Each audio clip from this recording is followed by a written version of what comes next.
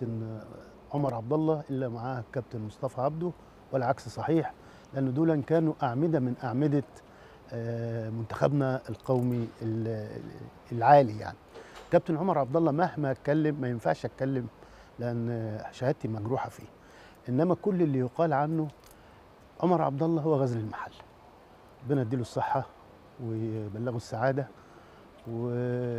ويجزيه على اللي اداه لغزل المحله لأن إحنا ما عملناش غزل المحله إحنا عملنا المحلة مدينة المحلة لأن غزل المحلة كان لوحده قلعة صناعة عالية جدا بتعمل نفسها بنفسها. إنما إحنا وقفنا جنبا إلى جنب وعشنا في الخارج وعشنا بصولاتنا و... وجرينا ومبارياتنا الخارجية للدعاية الكاملة لغزل المحله فإذا اتكلمت مهما اتكلمت ده كان آه، عصر ما بعده عصر بالنسبة لغزل المحلة. كلهم إخوة كنا على قلب رجل واحد. كلنا زي ما بقول لحضرتك أسرة واحدة. الكابتن عمر عبد الله بيته يبدو يبعد عن الملعب هنا 600 700 متر. أنا 500 متر. كلنا كنا من إيه؟ من المحلة فكلنا أسرة واحدة. ده بالنسبة للإيه؟ للأخوة. أما بالنسبة للكابتن عمر عبد الله وادائه في الملعب فكانت الناس بتيجي تتفرج تشوف السهم اللي بيجري ده إيه. وكانت زمان الكورة آه، أهم ما فيها اللعب على الجناحين. فدي كانت تكتيك عالي جدا على المستوى العالمي إنه يجري من خط بره ويرفع الكورة بالعرض يقابلها الكابتن عماشة يقابلها الكابتن عبد الدايم يقابلها أنا لطفي الشناوي أي حد بيكمل على المرمى. فكان الكابتن عمر عبد الله بمجرد ما تجيله الكورة انسى إن في لاعب يقدر ياخدها منه من قوة السرعة الله يعينه الله يديله الصحة وكفاية الجري اللي هو جراه فكويس قوي الحمد لله النهارده إن إحنا نشوفه بصحة جيدة. كابتن عمر آه، عمل هو طبعا جاب هدف تحقيق البطولة الوحيدة اللي خدناها اللي هي كاس اللي هي بطولة الدوري وده كان إنجاز كبير لغزل المحلة.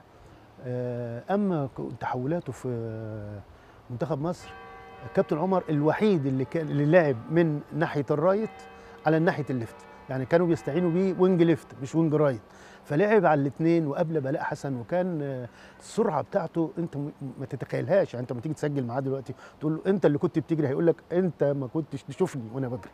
كان هو وكابتن عبد الحليم خليل الله يرحمه ويغفر لهم إن شاء الله. بقى انت اللي قاعد ده كنت بتجري الجري ده؟ هتقولي للكابتن طارق سياجي. هو طارق السياجي طبعا من ده جارك ها؟ ها من لعيبه كويسة. جارك. طبعا. آه. في السبع بنات برضه. صح صح معايا يا آه، عمر حاضر. آه، طارق السياجي يمكن كان اللي طلع عليه إن هو عشان أخو محمد السياجي آه. فهو جه لعب لا. المق- المقولة دي غلط. طارق السياجي كان لعيب كويس وكان يستاهل فعلا يلعب في غزل المحلة. وكان من الأعمدة بعد لأن محرز جات له إصابة فبطل فبقى هو يعتبر من أساسيات وسط ملعب في نادي غزل المحله مم. كان هو ومرعي. ما كانش بيلعب مجامله عشان خاطر لا لا لا لا, يعني لا, لا, كان لا بعض هي كان كان حد بيقول لكن هي طبعا الكلام آه، ده مش لا كان الناس بت... زي ما بقول هو كلام. كان من الناس برضو اللي بتوصلني كويس للجون طارق. آه. كان عنده رؤية كويسة للملعب. كان لعيب كويس فعلا بجد.